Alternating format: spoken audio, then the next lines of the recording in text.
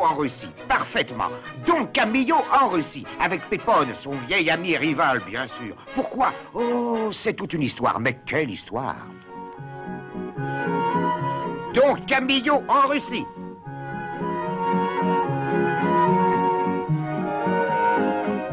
Avec Fernandel et Gino Cervi.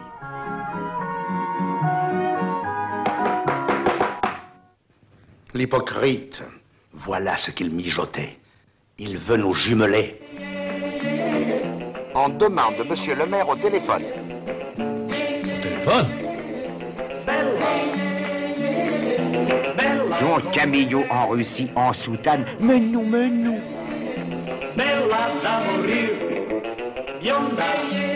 Le malheureux, il lui en arrive des choses. De même dans son village, il a de gros ennuis, de très gros ennuis, par la faute de qui? De Pépone, évidemment. Mais il faut avouer que Don Camillo l'a poussé à bout. Poignez-le.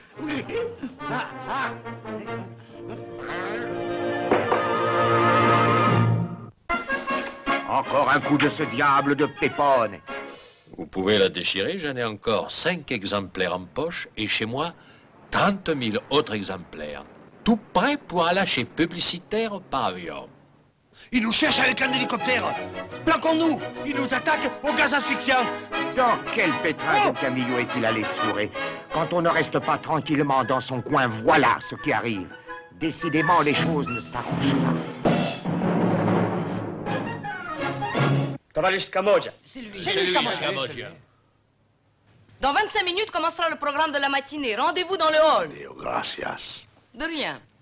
Jésus. Как я рад тебе встрече снова, пап Камилио. Seigneur, je comprends qu'ici vous ayez l'habitude de parler russe. Mais moi, je suis pas encore de ce pays. L'accueil des Russes est chaleureux. Pépone, par fierté nationale, veut être à la hauteur des circonstances et prend une cuite mémorable. Pépone, regarde-moi, écoute-moi. C'est moi, Do... Donizetti. Que la peste vous étrangle.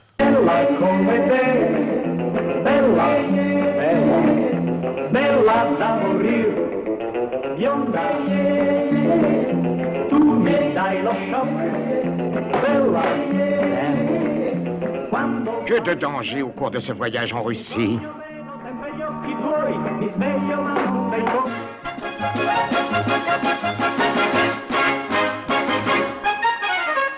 Voilà, voilà.